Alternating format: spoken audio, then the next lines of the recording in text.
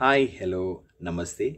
నేను మీ doctor Srikanth Eramilli last Vedic Atlantis అంటే మన ఇండియాకి సంబంధించి ఎన్నో వేల సంవత్సరాల నుంచి ఉన్నటువంటి అద్భుతమైన ఇన్ఫర్మేషన్ అంతా చాలాసార్లు పోతూ వచ్చింది. అండ్ దాన్ని మళ్ళీ మనం we're trying to piece up together and trying to bring back అని మాట్లాడుకున్నాం.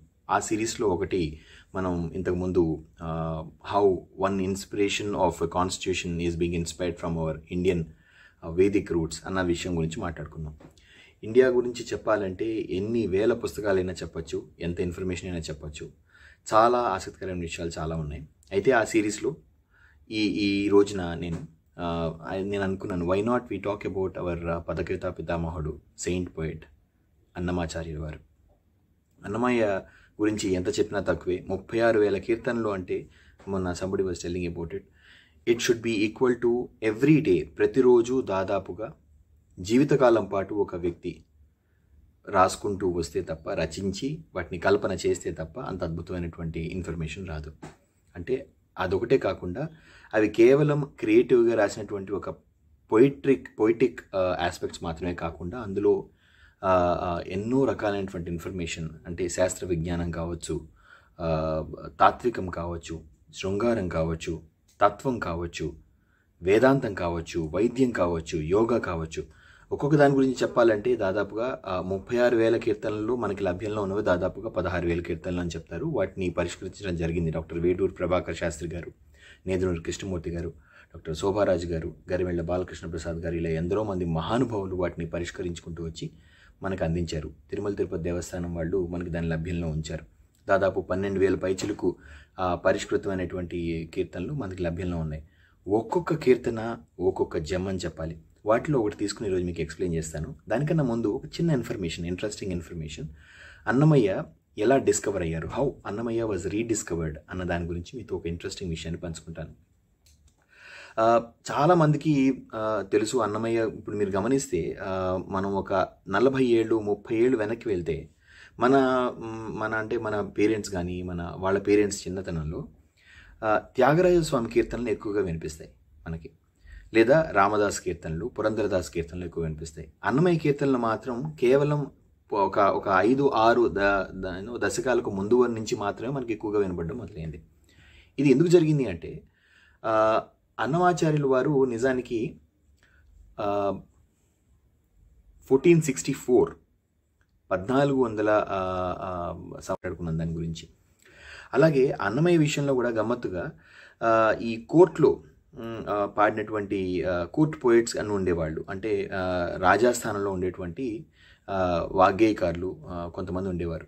అలాంటి గ- వాగ్గేయకారులు కవులు వాళ్ళని ప్యాటర్నైజ్ జరుగుతూ ఉండే దాంట్లో పద్దెనిమిదో పదిహేడు శతాబ్దం ఆ- కాలంలో ట్రావెన్కోర్ రాజులు వాళ్ళ రాజాస్థానంలో అంటే ట్రావెన్కోర్ రాజులు అని చెప్పుకుంటాం కదా మనం ఆ ట్రావెన్కోర్ రాజుల యొక్క రాజాస్థానంలో జో అండ్ చందమామ రావే ఈ ఈ కీర్తనలు వినిపిస్తూ ఉండేవిట.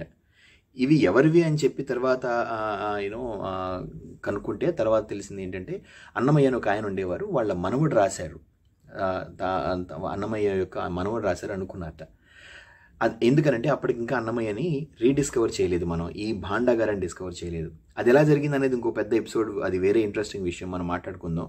మహానుభావులు సాధు సుబ్రహ్మణ్య శాస్త్రి గారు ఆయనకున్నటువంటి ఇంట్రెస్ట్ తోటి ఆ ఎపిగ్రఫీ మీద స్టడీ చేస్తూ వెళ్ళి యాదృచ్ఛికంగా దాన్ని అనుకోవడం జరిగింది. అది చాలా ఆసక్తికరమైన విషయం. ఆ స్టోరీని నేను మా గురువు గారు మాకు చెప్పారు. అండ్ ఆ విషయాలను చాలా ఇంట్రెస్టింగ్ విషయాలు ఉన్నాయి కొన్ని. వాటిని తర్వాత ఎపిసోడ్లో మనం మాట్లాడుకుందాం.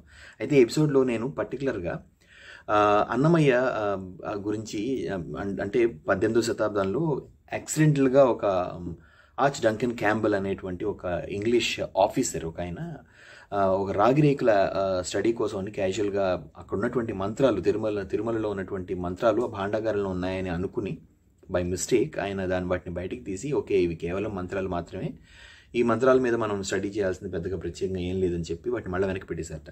లేకపోతే అప్పుడే మనకి అన్నమయ్య దొరికేవారు. ఆ తర్వాత దాదాపుగా ఒక డెబ్బై ఎనభై సంవత్సరాల తర్వాత అన్నమయ్య మళ్ళీ బయటపడ్డారు. అది ఎలాగో తర్వాత చెప్తాను. ఇంకా ఈ అన్నమయ్య మహానుభావుడి యొక్క కీర్తనల గురించి ఎంత చెప్పినా ఎంతమంది చెప్పినా తక్కువ లేదు. మొన్న ఇటీవల వాజ్ అటెండింగ్ వన్ సెమినార్ ఒక ఒక గ్రేట్ ప్రొఫెసర్ చెప్తున్నారు. కేవలం గ్లోబల్గా ఈ టైంలో లింగ్విస్టిక్గా కరెంట్ కాంటెంపరీగా ఒక దాదాపు ఒక వందకు పైచిలుకు థీసీస్లు ఒక వ్యక్తి మీద చేస్తున్నారు అంటే ఆ వ్యక్తి ఎంత అద్భుతమైనటువంటి వ్యక్తి అయి ఉండాలి అని చెప్పి చెప్తూ అన్నమయ్య గురించి చెప్పారు. కేవలం అన్నమయ్య తత్వం మీద ఇందాక చెప్పినట్టు రకరకాల జానర్స్లో ఉన్నమంటే ఉన్నటువంటి అన్నమయ్య కీర్తనల మీద దాదాపు చాలా వరకు కీర్తనల మీద రీసెర్చ్ జరుగుతుందని చెప్పారు.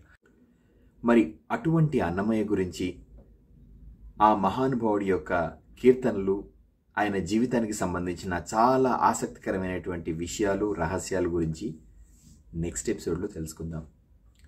Thank you very much please subscribe కింద ఒక సబ్స్క్రైబ్ బటన్ ఉంటుంది. సబ్స్క్రైబ్ చేయండి టు దిస్ ఛానల్ అండ్ ఎన్నో రకాలైన interesting facts interesting information and చాలా క్రియేటివ్ ఆస్పెక్ట్స్ అన్నిటినీ కూడా ఇందులో పొందుపరచడం జరిగింది.